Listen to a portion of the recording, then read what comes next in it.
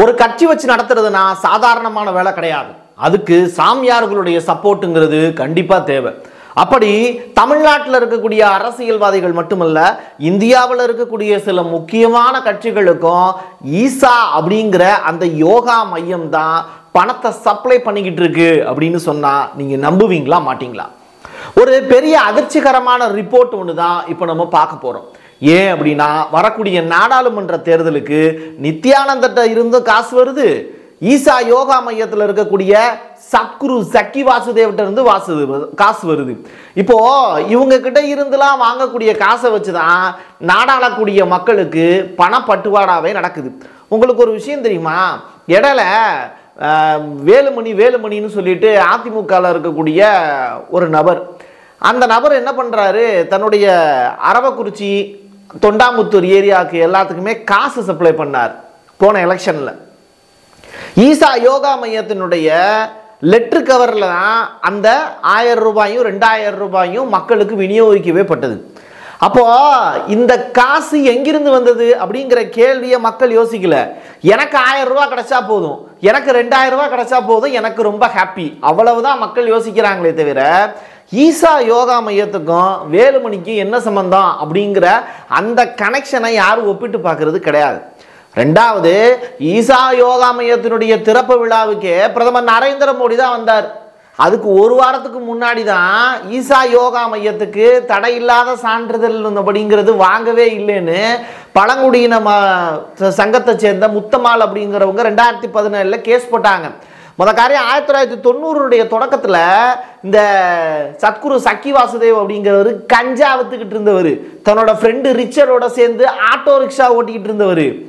காட்டூரில் இவர் கஞ்சா வித்ததா? பீத்ரி போலீஸ் ஸ்டேஷனில் ஒரு புகார் இருக்குது போலீஸ் ஸ்டேஷனில் உட்காந்து இப்படி இப்படி இப்படி எப்படி நம்ம இந்த போலீஸ் ஸ்டேஷன்லாம் உட்காருவாங்கல்ல சமணக்கால் போடுறதுக்கு பதிலாக வந்து குத்துக்கால் போட்டு உட்காந்துக்கிட்டு அடி அடின்னு அடித்து என்ன அவர் தாடி வச்சுட்டு இருக்காரு அப்படின்னு சொல்லிட்டு நீ சாமியாரா? அப்படின்லாம் கேள்விலாம் கேட்டதன் போக ஆமா நான் சாமியார் தான் அப்படின்னு அந்த நேரத்தில் மழுப்பிட்டு அந்த கேஸ்லேருந்து ஜம்ப் ஆகி வெளியில் ஓடி வந்தவர் தான் அதற்கு பிறகு அவருடைய ஃப்ரெண்டு ரிச்சர்டையே இவர் தான் கொலை பண்ணாருங்கிற கேஸ்லாம் இருக்குது இன்னைக்கு அவர் தொடர்ந்து பிரம்மச்சரியத்தை ஃபாலோ பண்ணுங்க அப்படின்னு சொல்லிட்டு தாடிக்குள்ள கையை விட்டுக்கிட்டு நோண்டிக்கிட்டே வந்து ஏகப்பட்ட விஷயங்கள் சொல்லிக்கிட்டு இருக்காரு.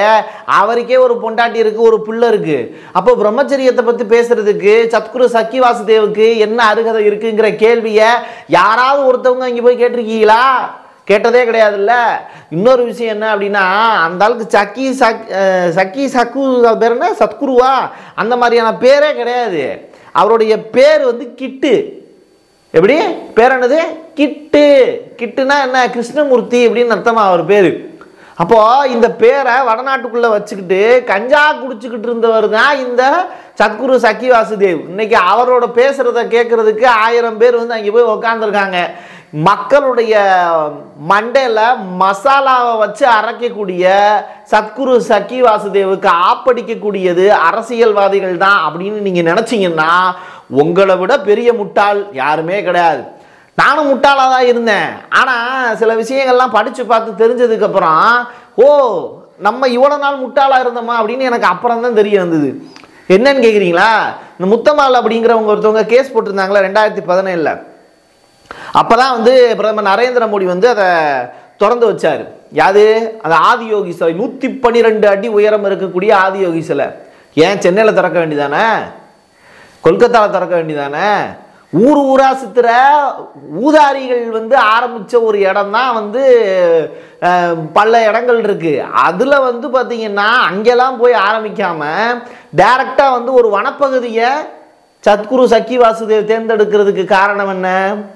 அதுவும் நூற்றி பன்னிரெண்டு ஏக்கரை வந்து வளைச்சு போட்டிருக்காங்க. கிட்டத்தட்ட கோயம்புத்தூரை சுற்றி அந்த ஏரியாவை சுற்றி பத்து கிராமங்கள் வந்து எல்லையோர கிராமங்கள் எல்லாத்தையும் வளைச்சு போட்டிருக்காங்க. பழங்குடியினர் எல்லாத்தையும் அப்புறப்படுத்தியிருக்காங்க. அப்போது இவ்வளோ வேலைகளை செஞ்சுட்டு வாய் பேச தெரிஞ்ச மனுஷனுக்கே இந்த பிரச்சனைனா வாய் பேசவே தெரியாத மிருகங்கள் எல்லாம் இவங்க என்ன பாடுபடுத்திருப்பாங்க நீலகிரியில் ஆறு புலிக்குட்டி செத்து போச்சு. புலிக்குட்டியோட அம்மா எங்கே? அப்படிங்கிற கேள்வி யாருமே கேட்கல. அந்த புலிக்குட்டியினுடைய அம்மா எங்கே போச்சு? அதனோட செத்து போன உடம்பு எங்கே? அப்போ அதை யார் தூக்கிட்டு போனா? இதே மாதிரி கோயம்புத்தூரில் ஏகப்பட்ட விலங்குகள் செத்து போய் கிடந்துச்சு. அந்த செத்து போய் கிடந்த விலங்குகளை யாரும் கண்டுக்கல. அதே நேரத்தில் கோயம்புத்தூர்லயே இறந்து போன நிறையா பேர் இருக்காங்க. அவங்க எல்லாருமே ஈசா யோகா மையத்தோட தொடர்பு உடையவங்க இருக்காங்க. ஈசா யோகா மையத்துக்குள்ளேயே செத்து போனவங்கெல்லாம் இருக்காங்க. வருஷப்படுத்தவா? ரெண்டாயிரத்தி இருபத்தி ரெண்டு ஆந்திராவில் கொல்லு ரமணா அப்படிங்கிற ஒருத்தர் அந்த ஆதியோகி சிறையில் யோகா மையத்துக்கு மேலே ஃபஸ்ட் ஃப்ளோரில் தூக்கு மாட்டி செத்து போனாரு. அந்த கேஸ் என்னாச்சு? கவர்மெண்ட் விசாரிச்சுச்சா? உள்ளே கூட போக முடியாது. போலீஸ்காரங்களெல்லாம் வாசல்லையே வந்து பார்த்தீங்கன்னா நிப்பாட்டி வச்சு ஆ தரிசனம் தட்டில் சன்மானம் கிளம்புங்க ஓடுங்க அப்படின்னு சொல்லி அனுப்பிச்சி விட்டுருவாங்க. சக்கி வாசுதேவோட மனைவி விஜயினுடைய மர்மமான கொலை அது எப்படி நடந்ததுன்னு போலீஸார் விசாரிச்சாங்களா? ஈசா முன்னாள் நிர்வாகி திலீப் அப்படிங்கிற ஒரு மனுஷன் எப்படி செத்து போனார்னு யோசிச்சாங்களா? யாருமே யோசிக்கல யாருமே விசாரணை நடத்தலை. அப்போ போலீஸார்லாம் பாவம் நிறைய வேலை இருக்குன்னு நினைக்கிறேன். பழங்குடியின இளைஞர் ராஜேஷ்குமார் அப்படின்னு சொல்லிட்டு இன்னொருத்தர் வந்து அவர் பார்த்தீங்கன்னா அவர் மர்மமான முறையில் இறந்து போனார். விவசாயி ஓதிச்சாமி அப்படிங்கிற ஒருத்தர் இந்த ஈசா யோகா மையத்தினால வந்து மர்மமான முறையில் இறந்து போனாருன்னு சொல்லிட்டு ஏகப்பட்ட ரிப்போர்ட் ஃபைல் ஆயிருக்கு. இதுக்கெல்லாம் ஆதாரங்கள் இரு கலெக்ட் பண்ண அதன் மூலமா நடவடிக்கை எடுக்க வேண்டியது காவல்துறை. ஆனால் காவல்துறை மௌனமாக இருக்கு. காரணம் என்ன அப்படின்னா இதில் அரசியல்வாதிகளுடைய தலையீடு இருக்கு அப்படிங்கிறதுனால வெத்து வேட்டா வேலை பார்த்துக்கிட்டு இருக்காங்க காவல்துறை அப்படின்னு சொன்னால் அது தப்பா ரைட்டா அப்படிங்கிறத மக்களாகி நீங்கள் முடிவு பண்ணுங்க. ஏன் அப்படின்னா இன்னைக்கு அதிமுக அப்படிங்கிற ஒரு கட்சிக்கே பண சப்ளை அப்படிங்கிறது இந்த ஈசா யோகா மையத்தில் தான் நடக்குது அப்படிங்கிறாங்க. ஆனாலப்பட்ட பாஜகவே வந்து இங்கே இருக்கக்கூடிய யாதயோகி சிலைகளுக்குள்ளே சிலைகளுக்குள்ள பெரிய வந்து பார்த்தீங்கன்னா ஒரு வாய்க்கால்லாம் போகுதான் அந்த வாய்க்காலுக்குள்ள தான் வந்து ஏகப்பட்ட சுரங்கங்கள்லாம் இருக்குது அப்படிங்கிறாங்க. அந்த சுரங்கங்களுக்குள்ளே தான் ஏகப்பட்ட அரசியல்வாதிகளுடைய ஒவ்வொருத்தருக்கும் தனித்தனியாக லாக்கர் இருக்குங்கிறாங்க. இதெல்லாம் ஆய்வு பண்ண வேண்டியது யார்? அரசாங்கம். அரசாங்கம் உள்ளே போய் ஆய்வு பண்ணிட முடியுமா? துரத்தி விட்டுருவாங்க. பவுன்சர்ஸ் வச்சுருக்காங்க அடியாட்கள் வச்சுருக்காங்க. நீங்கள் ஈசா யோகா மையத்தை பற்றி பேசுனதுக்கே போன தடவை நம்ம பேசி ஒரு வீடியோ ஒன்று வெளியிட்டிருந்தோம். அதுக்கே நமக்கு மிரட்டல் வந்தது. இப்படி ஏகப்பட்ட வேலைகள் இந்த ஈசா யோகா மையத்தை சுற்றி நடந்துக்கிட்டே இருக்கு. ஒரு அம்மா பாவம் ஓடுறது கிணத்துக்குள்ளே போய் விழுந்திருக்கு எங்கே ஈசா யோகா மையத்தில் போய் யோகா சொல்லி கொடுக்குறதுக்குன்னு சொல்லிட்டு அவங்க கணவனும் மனைவியும் சேர்ந்து போயிருக்காங்க. வெளியில் திரு திரு திரு திருன்னு ஓடி வருது. ரோட்லலாம் ஓடி வருது. அந்த காட்சிகள்லாம் இடம்பெற்றிருக்கு. கடைசியில் கிணத்துல விழுந்து செத்து போனதாக ரிப்போர்ட் கொடுத்துருந்தாங்க. எங்கிருந்து ஓடி வராங்கன்னு கேட்டால் ஈசா யோகா மையத்திலிருந்து ஓடி வர்றாங்க. விசாரணை நடத்தணும்னு போகக்கூடிய காவல்துறைக்கு உள்ளே அனுமதி இல்லை. காரணம் என்ன அப்படின்னா அரசினுடைய தலையீடு இருக்குங்கிறாங்க. இதை தொடர்ந்து வந்து இது மாதிரியான புகார்கள் எல்லாத்தையும் விசாரிக்க வேண்டிய அதிகாரிகள் வாய் மூடி மௌனமாக இருக்காங்க. இந்த ஏரியாவில் இருக்கக்கூடிய தாசில்தார் ஒருத்தர் இடையில வந்து ஒரு ரிப்போர்ட் ஒன்று சென்னை உயர்நீதிமன்றத்தில் தமிழக அரசு சார்பாக ஒரு மனு தாக்கல் பண்ணியிருந்தது. அந்த மனுவில் வந்து விசாரணைக்கு எடுத்துக்கிட்டதுனால அந்த தாசில்தார்ட்டு விவரம் கேட்குறாங்க ஐயா நாங்கள் தடையின்மை சான்றிதழ் கொடுக்கவே இல்லை. ஆதியோகி சிலை வனப்பகுதியில் நடக்கிறதுக்கு அனுமதியே கிடையாது. அது யானைகளுடைய வலசை பகுதி. அது மட்டும் இல்லாமல் அங்கேருந்து ஏற்கனவே வந்து பார்த்தீங்கன்னா ஒரு முக்கியமான ஒரு விஷயங்கள்லாம் பதிவு செய்கிறாங்க அதெல்லாம் வந்து ஐஏஎஸ் ஆஃபீஸர் ஹரிகரன் அப்படிங்கிறவர் தான் ஃபர்ஸ்ட் ஃபஸ்ட்டு ரெண்டு சர்வேயர் நம்பர் கொடுத்து அதுக்கு வந்து அனுமதி கொடுத்துருந்தாரு. அதற்கு பிறகு தாசில்தாரர்கள் வந்து நாங்கள் வந்து தடையில்லா சான்றிதழ் நாங்கள் கொடுக்கவே கிடையாது. அங்கே விதிமுறை மீறி தான் கட்டடங்கள் கட்டப்பட்டிருக்கு அப்படிங்கிறதுக்கான ரிப்போர்ட் எல்லாம் ஃபைல் ஆயிருக்கு அப்படிங்கிறத அச்சு அசலாக சொல்லியிருக்காரு. எலஃபண்ட் டாஸ்க் கமிட்டி ரெண்டாயிரத்தி பத்துலேயே இந்த பகுதி வந்து யானைகள் வலசை வரக்கூடிய பகுதின்னு சொல்லிட்டு அந்த இடத்துக்கு அனுமதியே கிடையாதுங்கிறதெல்லாம் ரிப்போர்ட்டாக ஃபைல் பண்ணியிருந்தாலும் சிவராத்திரி அன்னைக்கு இவங்க போடக்கூடிய ஆட்டம் அப்படிங்கிறது சொல்லி மாறாது.